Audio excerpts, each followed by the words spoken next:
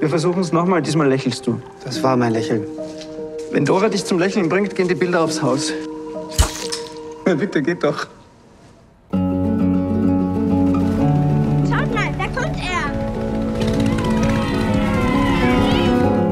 Du hast genug Material, um an einen Verlag heranzutreten. Ich muss das alles nochmal überarbeiten. Alles nur Fragmente. Ich bringe nichts zu Ende.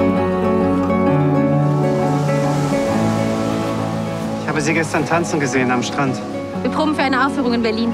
Berlin war immer mein Traum. Woher nehmen Sie den Mut? Das ist eine lange Geschichte. Ich habe Zeit. Ich bin ein kranker Mann, Dora. Diese Krankheit bestimmt mein Leben. Jetzt auch? Nein, jetzt nicht. Lass uns zusammen träumen. Ich habe jemanden kennengelernt. Da wird sich dein Vater aber freuen. Der Vater darf nichts davon erfahren. Alle machen sich Sorgen. Wie soll das gehen? Dora ist stark.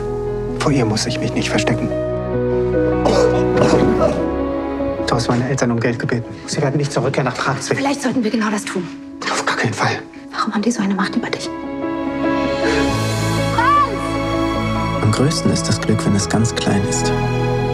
Deshalb würde ich, wenn ich mein Leben aufschreiben müsste, nur Kleinigkeiten notieren. Ich glaube, dass die Herrlichkeit des Lebens immer in ihrer ganzen Fülle bereit liegt. Unsichtbar. Ruft man sie mit dem richtigen Namen, dann kommt sie.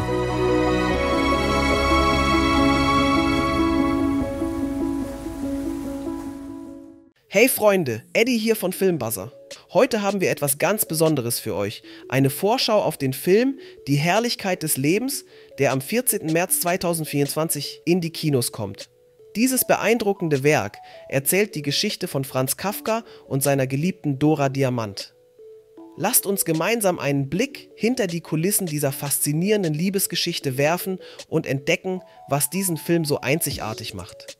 Der Film, angesiedelt im Jahr 1923, entführt uns an die Ostsee, wo Franz Kafka, gespielt von Sabine Tambrea, und Dora Diamant, dargestellt von Henriette Confurius, sich zufällig treffen.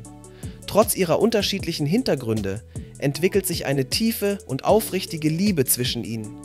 Der Film zeichnet Kafkas letztes Lebensjahr nach, voller Leidenschaft und künstlerischem Schaffen, aber auch geprägt von seiner fortschreitenden Krankheit.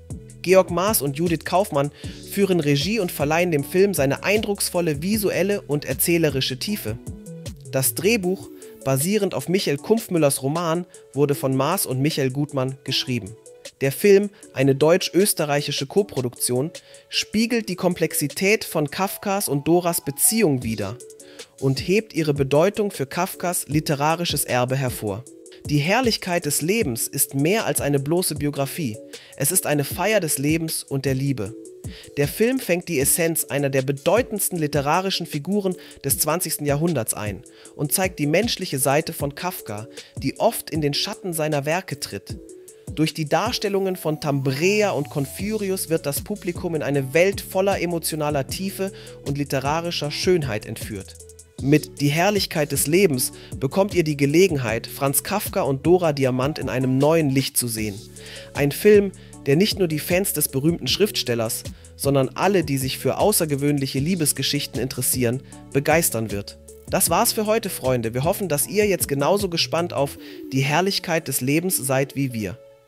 Merkt euch den 14. März 2024 vor, denn an diesem Tag habt ihr die Gelegenheit, dieses außergewöhnliche filmische Erlebnis im Kino zu genießen. Vergesst nicht, unseren Kanal zu abonnieren, um keine weiteren spannenden Filmvorstellungen zu verpassen. Lasst uns in den Kommentaren wissen, was ihr von Kafka und Dora haltet und bis zum nächsten Mal.